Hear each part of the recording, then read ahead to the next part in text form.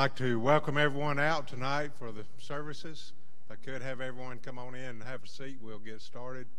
One of our young men, Merv Prince, is going to uh, lead us in a song. So if everybody grab a songbook and join in. Thank you.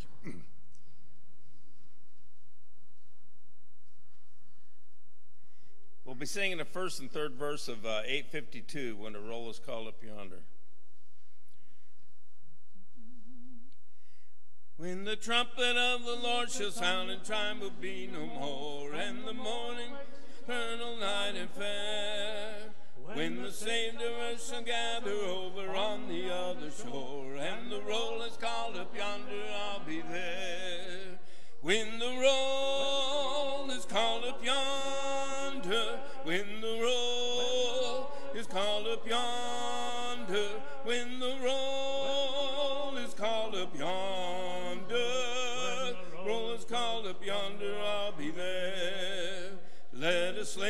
before the Master from the dawn till setting sun. Let us talk of all his wondrous love and care. Then when all of life is over and our work on earth is done, and the roll is called up yonder, I'll be there. When the roll is called up yonder, when the roll called up yonder,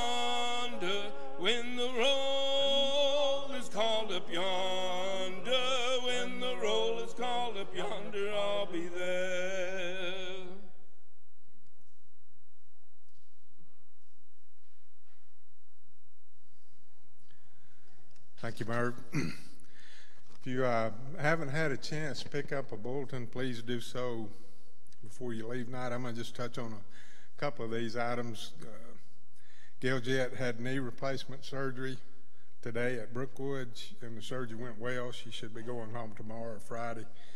Um, also, keep uh, Wes and Pam in your prayers for the uh, loss of, of Mia Wes and Pam and, and Miles.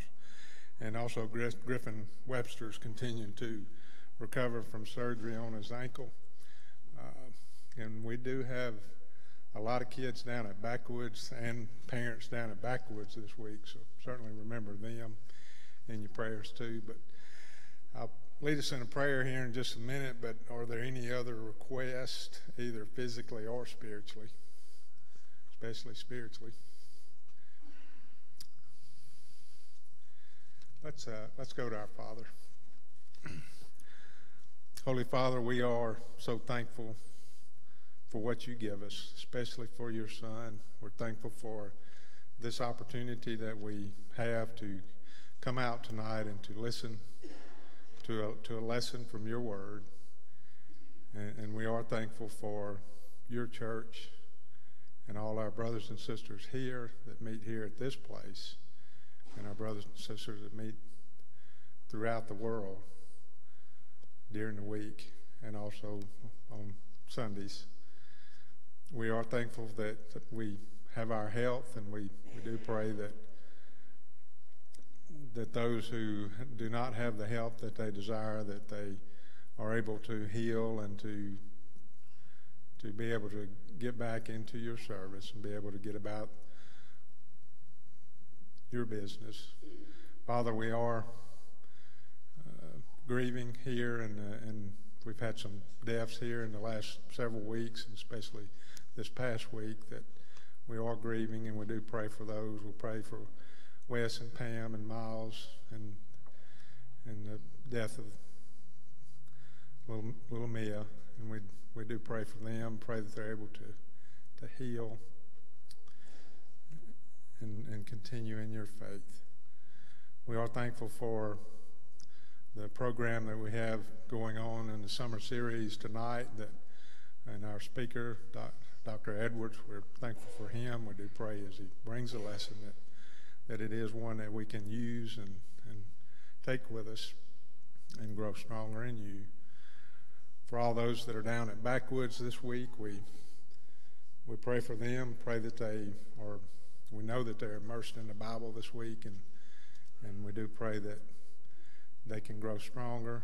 And we know that we baptize a lot down there during the week, but we do pray as as that happens uh, that, that they are also able to grow in you and give them a safe trip back when they come back on Friday. We're thankful that Gail was able to have surgery on her knee and that we do pray that she's able to continue to, to heal from that and also Griffin with his feet. Uh, we, we do pray for healing for him. So I know he starts off to college this summer or, or some, some type of schooling he's going to this summer for, for a year. We do pray that he's able to heal up for that and be able to get back on his feet. We pray for Chuck as he's up in Carmen Hill and pray that his effort up there is glorif- glorifying you. Father, again, we're so thankful for your Son. It is through his name that we ask this prayer. Those that are fifth grade and under, which I don't think we have, I'll introduce our speaker here in a few.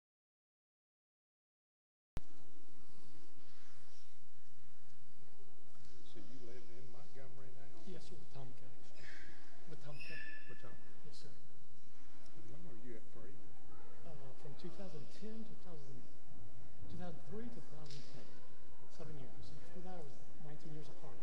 I had two, two of my sons, but I, that's all I got is two.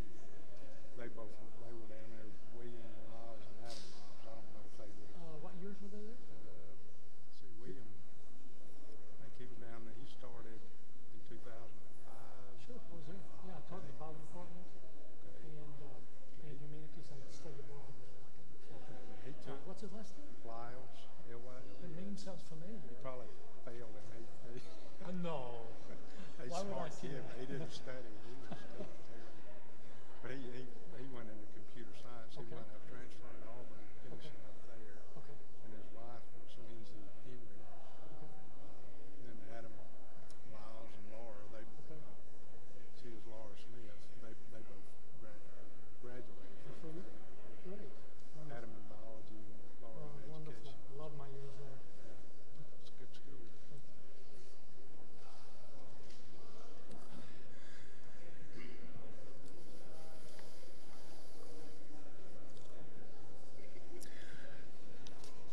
I'd like to uh, go ahead and introduce our speaker for tonight. It's uh, Dr. Terry Edwards. He uh, serves as a professor of Bible and Humanities at Faulkner University in Montgomery, and he's previously served on the faculties at both Harding University and Freed, uh, Freed Hardeman University. He was a teacher down there when William and Adam was down there. I asked him if he failed them, and he, he couldn't remember. So he's just probably being nice. Uh, he's also the director of Faulkner Study Abroad in the Tuscany program. He grew up on the mission field in Italy, spent a total of 26 years in Italy and Greece, 12 of these in vocational miss, mission work. He's been married to Kimberly for 40 years. They have six children, two son in laws, two daughter in laws, and 15 grandchildren. Mr. Rhodes, he's probably, well, he's probably passed you, hadn't he? Okay, okay. All right, but I'll turn it over to Mr. Edwards. Thank you. It's a pleasure to be with you. It's my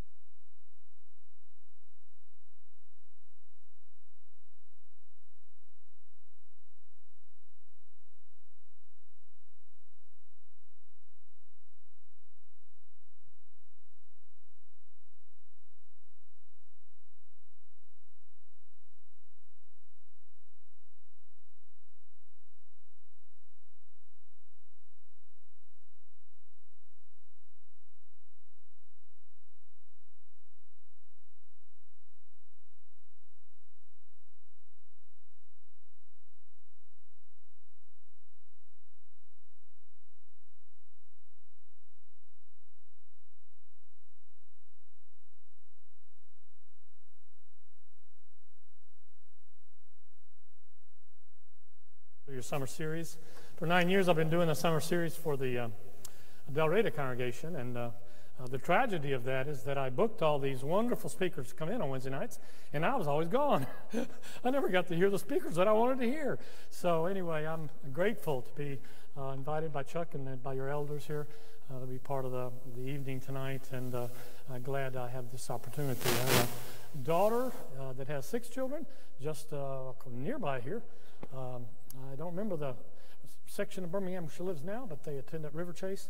Uh, anyway, so I've been there several times, but uh, there are many congregations in this hinterland of Birmingham that I've not been to. So you chose to let the speakers of your Wednesday nights choose their favorite sermon. Um, uh, that's that's that's good. Um, what you're trying to say is, please bring us the best that you have. We'd not like to hear the worst that you have. Uh, if you assign a topic, like I usually do to speakers, you know, the I give them a choice, you know, about 10, take the one, and then uh, pick your date. So I try to get them, but if you assign a, a topic, most of the time they haven't done it before, so they have to. Uh, this one is, uh, I have to explain why I chose it to share it with you. I'm a son of missionaries. I was four, born in Nashville, Tennessee. I sing country music, and I've played with Kenny Rogers on stage one time, so I'll be glad to do some hee haw for you if you'd like. But I'm also half Italian because my parents took me over to Italy and I spent my junior high, senior high years over there. So I had to go through the European school systems and came back to the States only when I was in college. I'm a son of um, missionaries, so to speak. And when I was 13, I was baptized uh, in the northern Italian city of Pistoia. It was December the 9th and was very cold. Uh, and there are a few congregations in Italy, there are about 35 of them that that have a baptistry, but they did, but they don't have heating. it was so cold. I do remember that. I was sure of what I chose. Can you look, think back to your um, baptismal moment, the moment they put on Christ in baptism?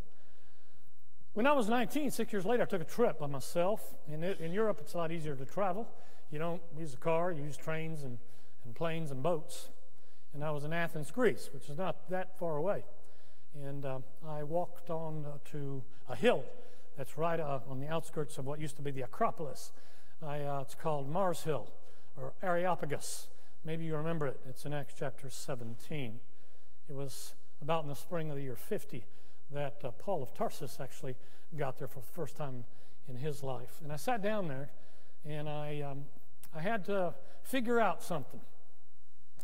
The faith that I had uh, acknowledged that I had put on uh, in Christ when I was 13. Was it really mine or was it my parents? Those of us who have been blessed to be born, grown up in a Christian family, we're blessed, very blessed. My mother passed away of cancer. My father's still alive, and he was the dean of biblical studies at uh, Freed-Hardeman for 25 years. Uh, I am very blessed. Um, but if you come out of that family, you also have to figure out whose faith is it. And so I ask you tonight, uh, kind of the same question: Whose faith is it? Uh, is, your, is it yours? And how's it doing? How's your faith doing? What I did uh, as I sat down at the age of 19 is figure out, oh, it's my faith. It's mine. From now on, I don't live in the shadow and the coattails of my mom and dad. Um, from now on, um, it's mine. Now, everybody was asking me, since my dad was a preacher and a missionary and a teacher, what are you going to do when you grow up? Are you going to be a preacher? And I would say, no, no. I was going to be a rock star. I was going to, you know, make it big in the music industry. Uh, life has a way of shaking things around and turning you back. It is a privilege and an honor to get to teach and to preach. That is the greatest honor. I, I uh, would do it for free, but please don't tell my administrators at Faulkner I actually need that because I have six children and five and 15 grandchildren, so I still need my salary, but I'd do it for free because it's a privilege. It's the greatest job there is. By far, I figured that out. It's taken me a few decades, but I'm proud there. And uh, on Mars Hill, in that uh, year, I, I figured out not only my faith, but also discovered a hero. Now, the, the greatest example of humility, of sacrifice, of love, of faith, of obedience is, of course, Jesus, the Son of God, God that comes down to earth. That's the greatest example of all the Christian attributes, of your virtues, etc. But there are some times when we need some human models too. Not that Jesus wasn't. Jesus was 100% human and 100% divine. He's both. But it was Paul that I discovered on that sitting on that rock hill. And it is my privilege to take groups. I had a group of uh, 45 this past spring that I took to Mars Hill as we live in Italy and we travel to Israel for eight days in Greece and go through the footsteps of the Apostle Paul in Turkey. So it's my privilege. So tonight, what I'd like you to do is open your Bibles to Philippians chapter 1.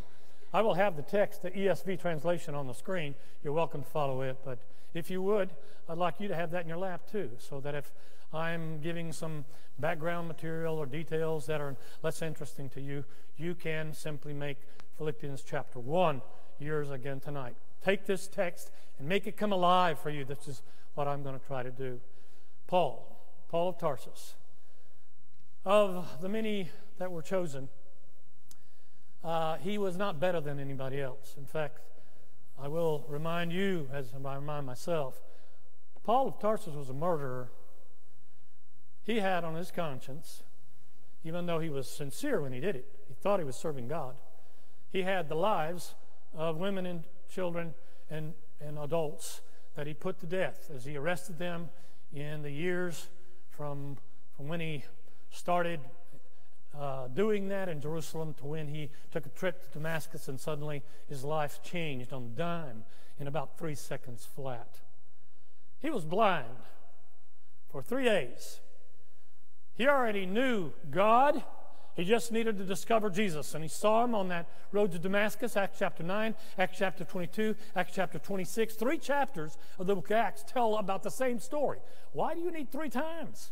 Not because the soul of the or the man is more important than my soul or yours to God, but because of the effect that one man can have, one woman can have on the kingdom of God if they will simply get it. Get passion, get it. He had three days of blindness. By the way, in my reading of Acts chapter 9, he was not saved during those three days. He knew who Christ was. He was not just a carpenter or construction guy from a little town of Nazareth of 400 people. He was the Messiah, the one, the Son of God. What he discovered in three seconds flat. Who are you? I am the one whom you are persecuting. How long does it take to say that in Hebrew? I'm the one whom you are persecuting. Three seconds. And then, oh, you can be 100% sincere like Paul was and 100% wrong. Watch out. you can be sincere and wrong. And tragically, a lot of people in this world are. They think they're serving Christ, they think they're. Um, uh, modeling a church, but they're not getting their blueprint and they're not getting their, their Jesus from the historical biblical texts. They're getting it from somebody else, some other version of Jesus, some other version of church. You can be sincere and wrong. Paul was, and he found out. And he had three days in blindness to figure it out. Okay, what are you going to do now? What are you going to do now? That was about in the year 34 AD, by my best estimations. And. Uh, well, he came out after three days and he was given sight again. By the way, when you're blind, I know because I had an accident. I was blind for a while, and your other senses just go explode and go 500 miles per hour. You're hearing, you're, you're thinking, you're, you're, you're stuck in your head. And I know what he was doing. He was thinking, now what do I do? What on earth do I do? I can't fix what I did. I can't bring back those people. He arrested people, he broke up families, he took children from their mothers. He did it sincerely. He thought they were not of God, so he was doing what he thought was the will of God, but he was wrong. He was wrong. And when he came out after three days, he lived the rest of his life. He had been going 185 miles per hour in the wrong direction. And then he was on a dime in three seconds in three days, turned around, and now you need to run your life this way for the rest of your life. He doesn't know it, that he's going to live about 30 more years. He doesn't know it. There are two parts to Paul's life. The first 30, when he was training, he was on the Supreme Council, he was on the Sanhedrin, he was on the top 70. His career was going great. His parents were so happy with him. They had sent him to Jerusalem to college to study with the greatest Pharisee school of Gamaliel. And he had. Uh, done excellently. And he was probably set to get married. Usually they were they got married after that, but he never did. He never did. He was the only unmarried apostle as we can tell. Paul says in one of his letters, 1 Corinthians, uh, can't I take a wife like all the rest of the apostles? He's the only one that never will, because, boy, when he takes off, going in the right direction for Christ, speaking for Jesus as the Messiah, he goes 185 miles per hour and just doesn't have time to family and wife and all the rest. He's not trying to make up what he made, did wrong before. What he's trying to do is from now on serve. And that's where you are in the year 61. You are 27 years into that. Well, the only thing I can do with the days that I have is live out to the best of my ability all the talents and, and opportunities that I have. When you open up the letter of Philippians, it's the year 61. By all accounts, it's one of four prison epistles. And the prison epistles are, of course, Philippians, Ephesians, Colossians, and Philemon. And uh, those were written, uh, in my estimation, between the year 60 and 62 AD, while he's uh, waiting, as you see in the last verse of the book of Acts, he's waiting for his trial. He's in trouble with the law, with Roman authorities. And he's in a rented house in the largest city in the world, the capital of the world, capital of power, of economy, and of everything else.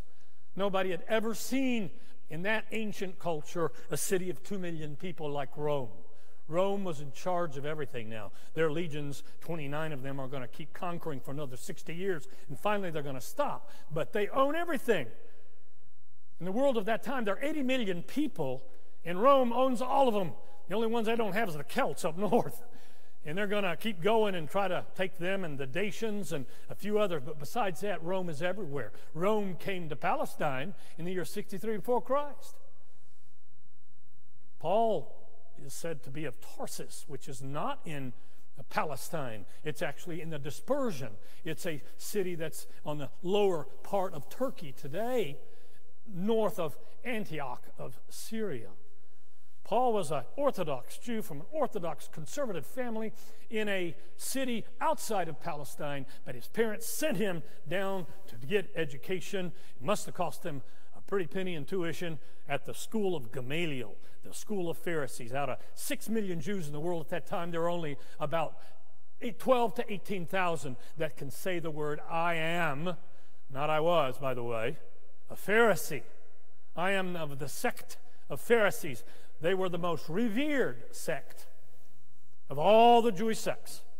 The Sadducees were aristocrats and wealthy, and uh, they were the ones that controlled the temple, and they uh, had that kind of power. But the Pharisees were the ones that the people thought of as godly and, and pursuing godliness and knowing the Old Testament, knowing scriptures by memory, and being devoted to, to faith in Yahweh, in God. That's who Paul was, and is. You'll notice that when he talks about his past, and he has to do it all of the time, every time he comes up to a synagogue of Jews in his travels, when he's apostle of Jesus Christ, gets that job on the road to Damascus directly from Jesus, he will have to say, Okay, who are you? And he has to say in, you know, two minutes flat, I am, you know, quick biography, short. Uh, I am a Jew. I am a Pharisee and I uh, studied with Gamaliel, and I am an apostle of Jesus Christ. That's who I am. Never reneges his Judaism. He never forces his Judaism on you either. He does stuff still that doesn't conflict with his Christian faith, like, for example, cut his hair off one time in Cenchrea after the end of a vow, which he makes somewhere in the city of Corinth. Probably a prayer to God God, help me get through this hard mission work here in this city.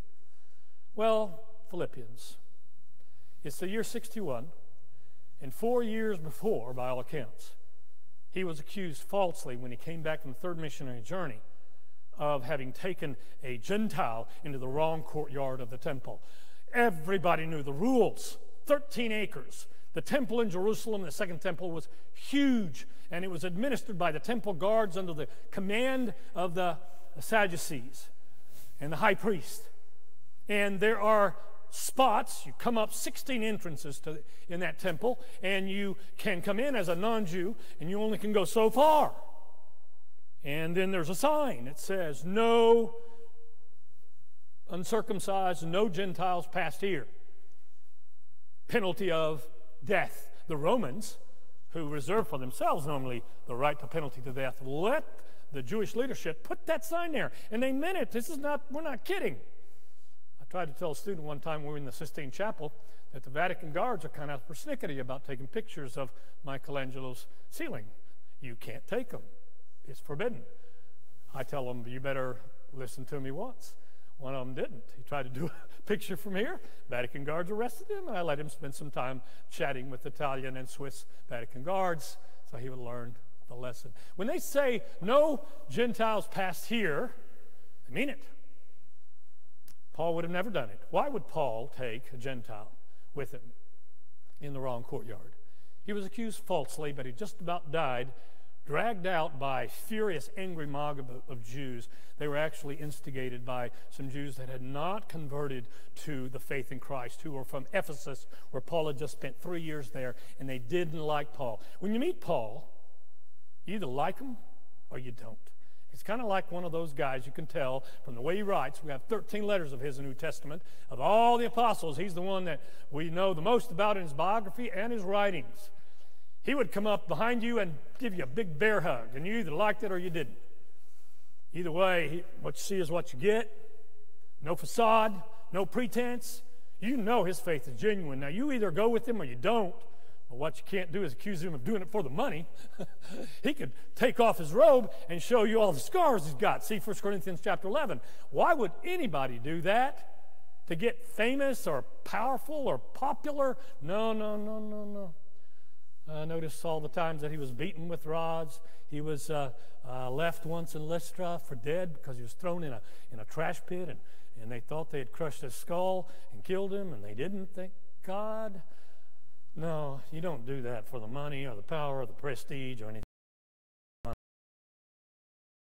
Year um, in the year 61 is, is in a bend of the Tiber River that flows through the capital of Rome. Uh, that, uh, that today is uh, tight streets and, and, and antique shops and things like that. But back then, there were seven, eight story high. I don't know what you thought of ancient Rome, but it had seven, eight story high buildings, and probably maybe let's suppose for a minute in the eighth, seventh, eighth story, he finally gets instructions from him. They don't have GPSs and smartphones. So, how on earth did Epaphroditus, see Philippians chapter 2, from Philippi, that's a thousand miles away in northern Macedonia, how did he find Paul? How on earth did he find Paul in a house, in an apartment, in a city of two million people? How did he do that? I don't know. But the knock came on the door, and Paul may have opened it he was under house arrest, meant he can't go out without a guard attached to him. He has a guard assigned to him every single day. They don't have chains on while they're in the house, but if they have to be transported, they are. I don't know if he recognized Epaphroditus. I don't know if he converted him. Paul was there in Philippi twice in his life when he started the congregation and later when he visited during the third missionary journey. But he's been gone for the last five years. And the brethren at Philippi have not seen him for five years. Imagine this Chuck never came back. I'm just teasing, okay? And he's, where'd he go? No means of communication. And then finally one day it says, he's in Rome. He's in trouble. He's waiting for Roman trial. There are only two outcomes to Roman trial. I hope you know them. They don't have prison terms. They don't put people in prison for five years or 10 or 15.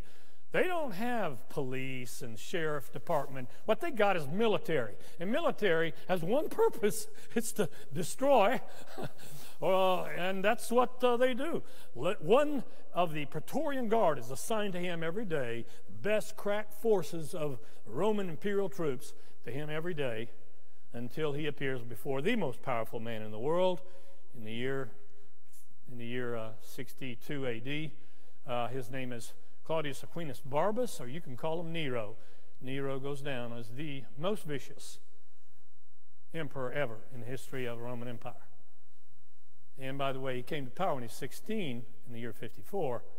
And in 61, seven years later, he's only 23 years old. And he's owned the world for seven years now. And he even got rid of his mother because she was in the way. She had her killed, and his stepbrother, and the list goes on and on. Sometime next week or in the next month, Paul of Tarsus is going to go before this 23 year old called Nero. when A&E made a series on the most evil people in the world. Number one was Satan, number two was Nero. I don't know if they're right or not, but if you read the accounts by Tacitus of what Nero did when he was a teenager and then what he did as a result, you go, wow, what a time to be living. And he's going to judge you? How on earth are you going to get justice out of a man like that? Man, he's not a man. This is what's happening next week. And this is the context of Philippians 1. And that's what makes it absolutely amazing that um, the tone of this letter called Philippians, which is a thank you letter, Epaphroditus made a thousand mile journey, had to go by foot, had to go by boat, maybe donkey. Took him months to get there, and he got sick along the way. He just about died. He was evidently very sick when he knocked on that door. Paul thought he was going to die. Paul cannot use his um, miraculous powers to heal Epaphroditus. You'll notice that miraculous powers are signs of who you are. You can't just use them indiscriminately. And Paul will give thanks in this letter that God let Epaphroditus live through because he sacrificed to bring a gift from the Philippians to Paul because they just found out where he's been for five years and now they're worried, sick. Somebody they love dearly is in big trouble. There's only two outcomes for a Roman trial. Two outcomes. And the second one for me to live is Christ, to die is gain. The second one is just daunting. I want to read this with you and look at context, so some archaeology, and then let you take encouragement from it. So, this is how the letter starts. He's dictating it Paul didn't have uh, uh, ink and uh, animal skin vellum, so you had to purchase it from scribes that were on the street. You would come up and you would dictate to them. Sometimes Paul had his own scribes to which he would dictate. Paul will take the quill at the end of some letters and sign it on his own. You always have a five part um, way of writing letters in the first century AD, and Paul is the most educated of the apostles, and he also writes in the format of a first century educated person. First of all, you put your name at the front, not at the end. You don't sign it. Secondly, the addressees to whom the letter is written. Thirdly, you put, you could say, uh, prayers and thanksgivings. Now, most people are pagans, so they give thanksgivings to, to the gods. Paul has one God, he's a monotheist. He will give thanks to God. And then comes the purpose of the letter. And the purpose of Philippians is thank you, thank you, thank you, thank you, thank you, thank you, thank you. And then some instructions in between that. Thank you for your gift. Thank you for remembering me. Thank you for caring. Thank you for sending Epaphroditus. Um, the word rejoice appears 16 times in verb form or adjective or some other form. It is staggering to think that he could be sentenced to death next week. And this is the mood, the emotions of Paul of Tarsus uh, when he gets this knock on the door from Epaphroditus. And he immediately writes down this letter. And he starts like this Paul and Timothy, servants of Christ Jesus, to all the saints in Christ Jesus who are at Philippi with the overseers and deacons. Grace to you and peace from God our Father and the Lord Jesus Christ. His name when he was born, Orthodox Jew, was Saul. But uh, there is a unique feature about Paul of Tarsus. His father had Roman citizenship. Orthodox Jew had Roman, so where to get it? The only way to get Roman citizenship, which is expensive, you can buy it, but uh, either you're born to somebody already has it, or you buy it with a lot of money, or you render a service to imperial Rome. Now, supposing that uh, the family of Paul was probably wealthy, I'm saying that because the tuition at uh, the school of Gamaliel was significant. So let me, let me suggest to you that Paul, he will say in his letter, I've known wealth and I've known nothing in my bank account. He will say, I've known both ends of things. And by the way, happiness doesn't lie in either one of those. okay? He will say money uh, that the world thinks it's there. But I think Paul had money. I think Paul lost all his connections to his family business, money, when he sent an email home that said, uh, I've decided here in Ant- in, uh, in Damascus to now follow and be a leader in the sect of the followers of the way of Jesus of Nazareth. I think his family wrote him off from that point on. We never hear of his mom or dad. We hear of his sister's son that saves his life when he's in trouble in Jerusalem. So we know he has a sister in Jerusalem, and that's about it. Where do you get the name Paul? That's not a translation of Saul. Paul is his Roman name. When he was born, they had 30 days as parents after they circumcised him on the eighth day. Saul is after the tribe that he's, he's from the tribe of Benjamin.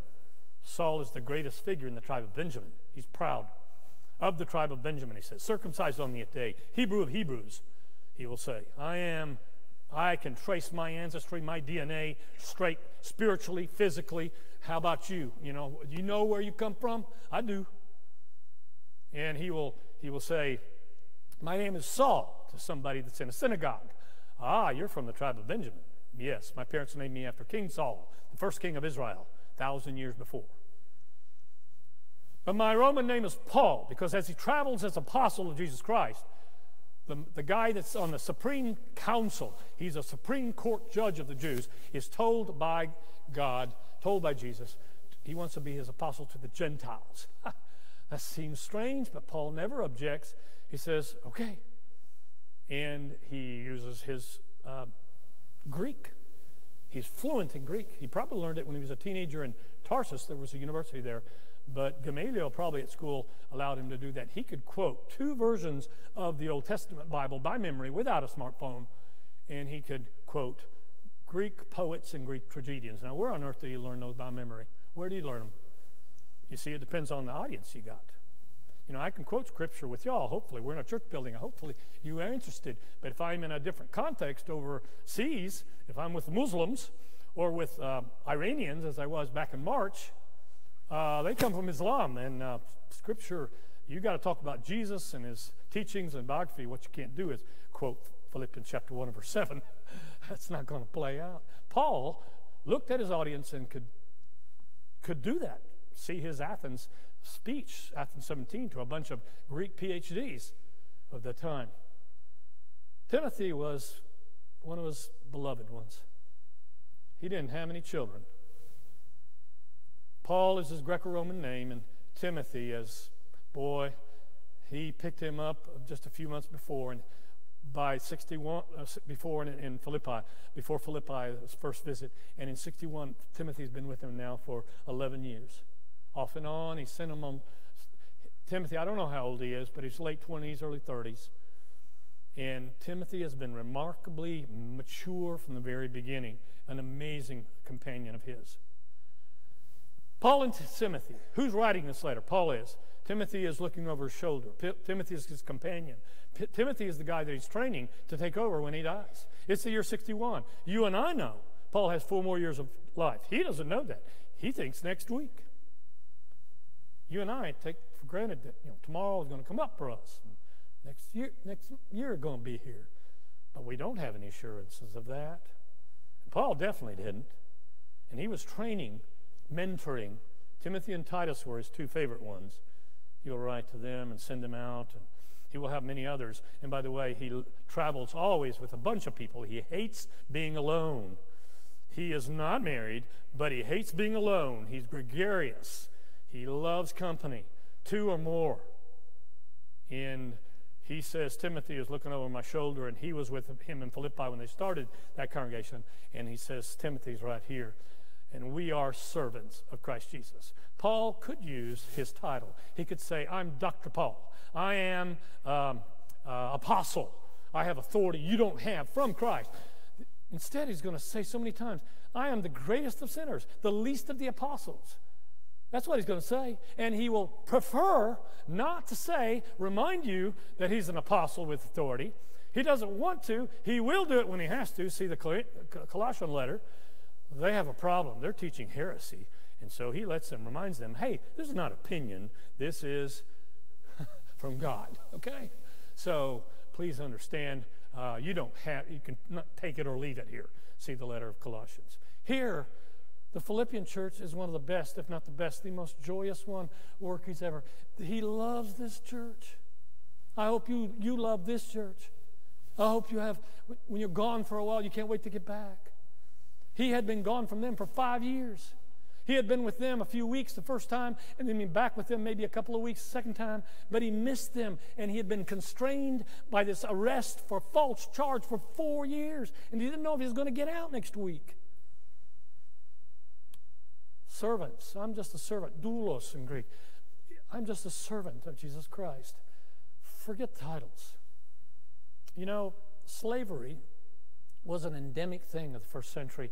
More people were enslaved in Paul's time than ever in the history of the world. If you walked in most cities, Corinth, Alexandria of Egypt, Rome, one out of two people on a sidewalk was a slave. In the countryside, less, but in the cities, one out of two. There was 35 to 40 percent of the population that were slaves for various reasons. So this, this is a very sensitive word, you know. And Paul says, I am a voluntary slave. That's what a Christian is. Follower of Christ is a voluntary slave of Jesus Christ. Nobody made you. Nobody made me. I want to serve Christ. That's what I want to do. To all the saints of Christ Jesus, that's, that's living people. My Catholic friends and my Greek Orthodox friends, they're wrong. The word saint is not used ever by Paul in a sense of somebody that's already dead and a committee in Rome has to proclaim them saints. And you can pray to them for yourself and light a candle. That's a tragic thing that has happened in the last 2,000 years. When Paul uses the word saint, selected, put apart, set apart, holy people, he's talking about living people. You and I are not perfect. We need the blood of Christ, the salvation that's brought to us, but we are saints by the blood of Christ, and that's what the Philippians are. And then he mentions the only letter ever that Paul does this the, the leadership. Yes, elders and deacons are the only way, and all encyclopedias or historical accounts will tell you there was no pope in the first century, there was no patriarch, there were independent churches Jerusalem, Antioch of Syria, Iconium, Lystra, Derbe, Jerusalem, and they had elders. See Acts chapter 14 when Paul and Barnabas go back through the churches and appoint elders and deacons. In Philippi, that only been a, around for 11 years, there were elders and deacons. Those are the uh, leadership that is there. Grace to you and peace from God our Father. Paul always begins and usually ends with his favorite two blessings when he writes, when he speaks. I'm sure he did it too. Grace, charis in, in Greece. That's free, 100% free. Can't earn a single bit of it. Your salvation, you can't earn a single item of it. It's called grace. That's what the blood of Jesus bought. Peace. Um, shalom, he would say in his language, Hebrew. Shalom. Irene in Greek. He was fluent in both. And uh, this is what he, he says. This is a map. You can't see it, it's too far, but way up at the top, you see it's Macedonia in the left hand corner. That's where Philippi was. Now, off the map that way, about a thousand miles of Rome, where Paul is, but he, he does, must remember when he's writing this letter, dictating it, that uh, uh, the first time he went there 11 years ago, it was on the second missionary journey. It was about the year 50 when he went uh, all the way through what we call Turkey today. And then he was trying, I think, to go to Ephesus, a big city, and the Holy Spirit said no. And then he tried to go north to Bithynia, and uh, the Spirit of Jesus said no. And that's one of the few times that Paul was told not to go somewhere. So he ended up in Troas. I don't know if you can see us on the Turkish coast today. It's ancient Troy where Achilles or, you know, Brad Pitt died, you know, if you know that movie. Troy. So let me imagine for a second. He's sitting in Starbucks in Troy, Troas, wondering, okay, well, now where do I go? My suspicion is he hated to get on the sea. He's a land guy. Have you ever been on a boat? You know, in ancient times, you didn't sail between uh, October and February your odds were like 50 50 that you become fish food. I don't think Paul liked the sea. I think he probably would have loved to have Dramamine. But if you're going to get anywhere, you got to go by sea. And then he has that Macedonian call. A guy from Macedonia says, Come over. That's why I think he didn't want to go there. He was wondering, okay, where do I go now? I've run out of land. I don't know where to go. And Jesus, God appears and, and says through the Macedonian call, get on a boat. Now, he gives them a nice trip. It only takes a day and a half to get to the little port of Neapolis. And then five miles in, for the first time, he came to the city of, of, of uh, uh, Philippi. Philippi today is still there. Well, the ruins of it. It was a mid, medium sized city back then. This is where the congregation of the Philippians is and where Paul started this work back in the year 50 AD, and now it's 61. He must have thought back to 11 years before. This is the uh, uh, major road. The Romans got it from the Persians. They got the idea of if you're going to have a big empire, you got to build roads, communication systems major reason for roads is for armies to quickly deploy from one spot to the rest. And then, if you're a civilian, you can use it too. Paul used it. When you're given a task like the 11 apostles were, uh, now I want you, said Jesus, when before he ascended into heaven, Acts chapter 1, this is your job now for the rest of your life. You're to take what I taught you for the last three years, and you're to take it where? Where are you to take it? Acts chapter 1, verse 8. To Jerusalem? Okay, I can do that. All of Judea. Okay, I think I can do that. And then what's that third one? To the ends of the. Say what again? Can I hear that last part again? We don't have we don't have internet. We don't have planes. We don't have helicopters. You want 11 guys that were fishermen and tax collectors. Paul joins that group of apostles, and here's your job description. I want you to go to 80 million people in the world. but instead of Paul arguing, how on earth am I supposed to do that? He makes a plan. So he didn't stop in small towns. He only went to big towns because he figured if he could plant the faith in Jesus Christ in a town, that uh, economy and people commerce and people traveling would take it and would spread out. Kind of like if you squish a pregnant spider. Have you ever done that? It's a mistake, by the way. Don't do it. You kill the mama, but you have a thousand spiderets that go everywhere. My wife did it last week. I told her, don't do it. That's what the Jews did. They thought when they started persecuting Christians, Acts chapter 8, they started persecuting the, the Christians in Jerusalem. Guess what Acts chapter 8 and verse 1 says? And boom, the persecuted Jews started heading out everywhere and they took their faith with them. And that was exactly what they did not want. Oh no, yeah. Paul, his plan was, I'm going to go to cities. So he didn't preach in Neapolis. And if you read the book of Acts, you will see he goes through Amphipolis, Apollonia. He goes through a bunch of cities, and he doesn't stop. But he gets to a city like Philippi, and he goes on the Egnatian Road here, and he's going to stay on this major highway here that connects Philippi with the biggest city of, of that, that side of the world, Macedonia, Thessalonica, and then go on to Berea. And I think he was going to probably keep going until he hit the Adriatic Sea. But he couldn't do that. It was uh, something he couldn't do. This is the Egnatian Road where Paul traveled. Something he didn't know that had happened 91 years before, it was the battle. It's the battle between Roman legions. There was a civil war going on, and Mark Antony every spring. I I try to ask the Greek farmers, what have you found? Gladius? Have you found a helmet? Have you found a coin? Have you found a belt? Because thousands of Romans died in those fields. See, what happened 91 years before Paul came into Philippi was it was a Greek city, but there was a major battle between Roman forces, and when it was all over, the winners simply said to all the Greeks in the city, You need to go move. And so when Paul came in there, First time he's been in Greece. He speaks Greek fluently. Imagine if you could speak French fluently and I gave you a plane ticket to Paris. How excited would you be? Or if you could speak Italian fluently and I give you the most beautiful city in the world, my city, Florence, you know. What if I get to go to Florence, I speak Italian. He gets to go to Greece for the first time in his life and he speaks Greek fluently. And he gets there and he finds, hello, why are all the doorbells, why are all the statues, not in Greek, but in, in Latin. Why is that the case? We're going to come back to that in a second. What he finds in Philippi is very strange.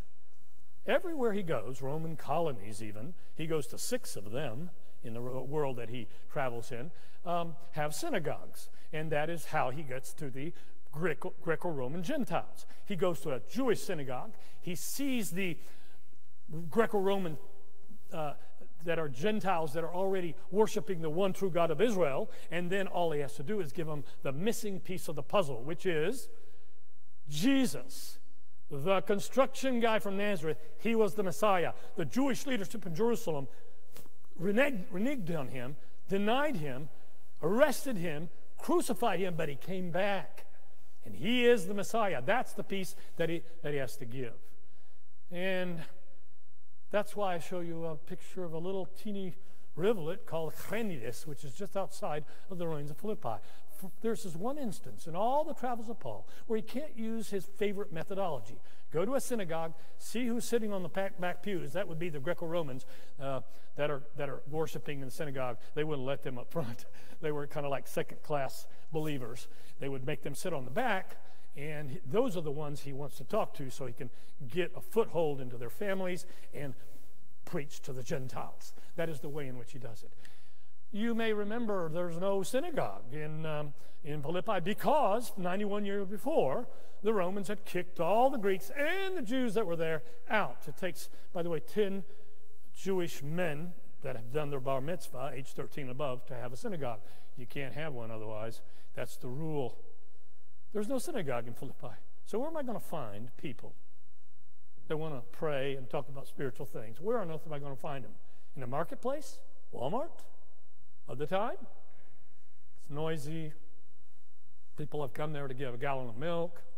Probably not.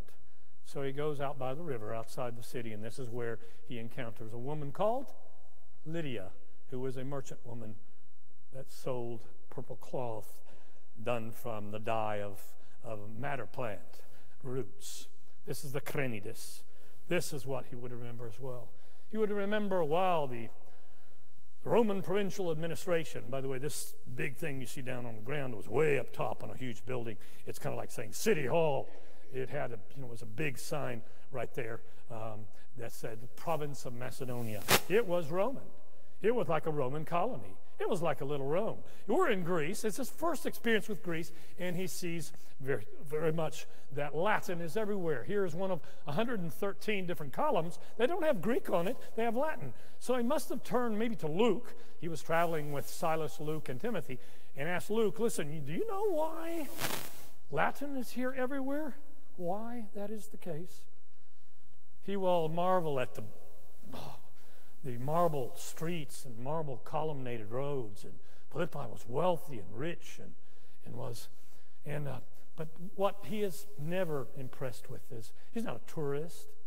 He's there for people. There are 30,000 souls. And so while we don't have direct evidence that he did it here, in these stones that you see here in Philippi, there's one of them that's called Bema. Bema is the speaker's stone you could talk about everything in Roman society except politics. You see, Rome was in charge, it was settled. We don't have democratic elections, so we're not going to talk about that. But you can talk about sports, you can talk about religion, you can talk about anything else. So they would get up on this stone, and there would be some kooks. And Paul's accused of being a kook by the uh, Greek uh, philosophers in Athens when he gets on the bema in that particular uh, case there. I don't know if in the weeks he was there he went to the theater it's their version of Netflix, you know. Before there was Netflix and TV, there was theater. The Greeks invented it. This is, seats about 8,000 people. That's how we know how big Philippi was when Paul was there. Uh, but he refers to, uses words in his language about theater and theatrical productions. Even Jesus does. Jesus probably saw some Greek productions in the city nearby of Sepphoris, four miles from the city of Jerusalem. Maybe Jesus, when he was working there, even helped construct one of those theaters. He definitely thinks back to this. Well, I don't know if it's this or not, but today a guide will tell you this is the place where Paul and Silas were imprisoned for a night, and there was an earthquake. Do you remember that? There was a girl that was had a spirit of divination, and when Paul, after three days of putting up with it, uh, cast out that spirit because he had that power as an apostle. I'm sure he thinks back to that girl. I wonder what happened to her and this is uh, the night that they were beaten and put in, cast in, uh, in stocks. Uh, by the way, neither one of them should have been. By Roman law, it's illegal to uh, do that. But what the authorities there in Philippi didn't know, because they didn't ask, you wouldn't happen to have Roman citizenship with you. You see, they didn't have plastic laminated ID cards. You had three words that you said, because uh, he would have been given a certificate, so to speak, made out of terracotta when he was 30 days old. You had to register your child who had, had right to Roman citizenship. you would give them a certificate. But, you know, who, who's carrying around a terracotta thing there? So you say three words. And by the way, if you say these three words and you don't have the right to, the penalty is take a wild guess. The Romans didn't mess around. Okay? Civis Romanus sum. I am a Roman citizen. You say those words, Paul will say once, and a Roman commander will say, a Roman centurion will say, uh, wait a minute. And he goes to his commander. Commander comes back and he says, My centurion thinks that he heard you say Civis Romanus sum. Um, you may remember that if you say these words without the right to, you're dead. You may buy three months or six months, but once you find out, Paul will say, No, I got mine from my dad. The commander will say, I had to pay a lot of money for mine. And you can just about see Paul go, I got mine free from dad. And we have to wonder, how did his father or grandfather get it? Maybe they made tents for the Romans. That's what my suggestion is.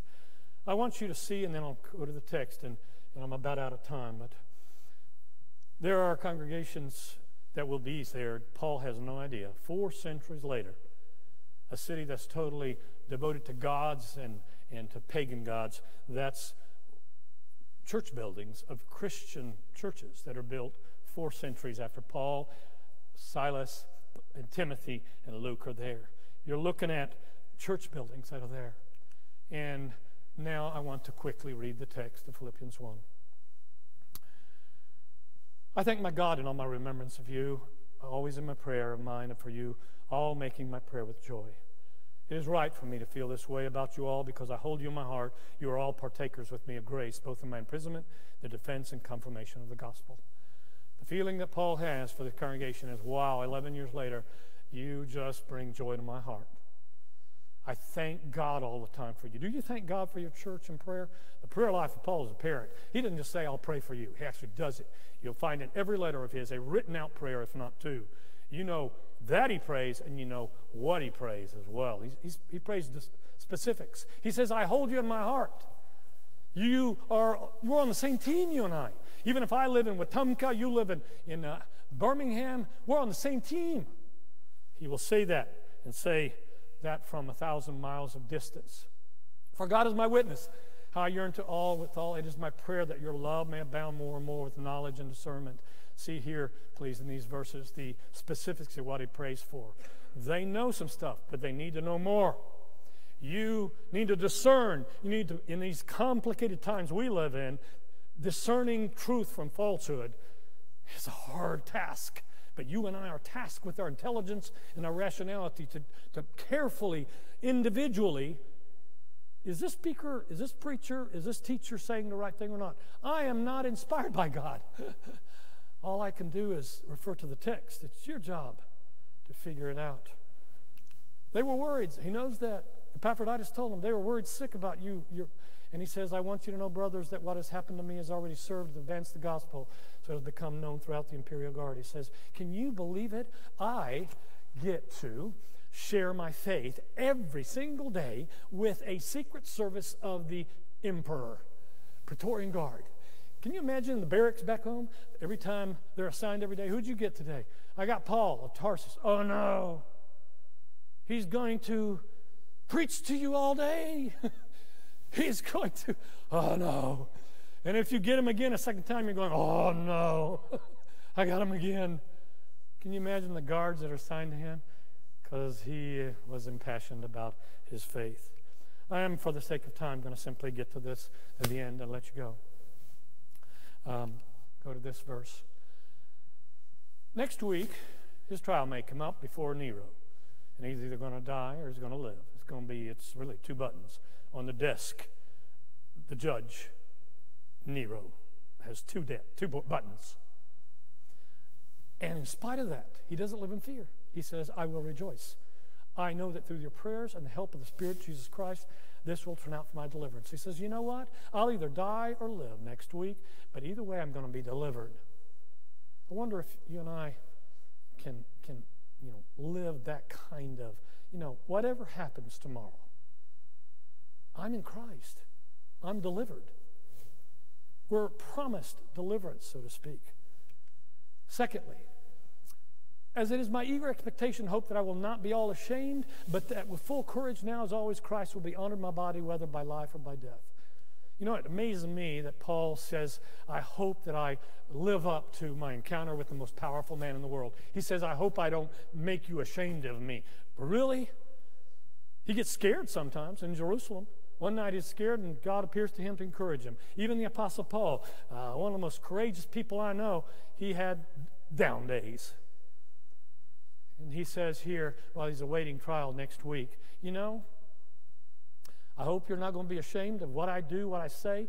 He's probably going to have about, you know, 10 minutes, 15 minutes before to give his apology, his defense in front of the emperor, uh, who he is and what he believes. And I wonder if the emperor is going to listen. By the way, the emperor is not interested in religion at all. He's interested in power, sheer power. And then he concludes with uh, this, and we'll conclude tonight.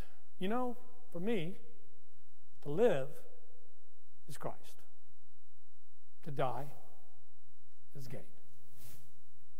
If I am to live in the flesh, that means fruitful labor for me, yet which I shall choose, I cannot tell.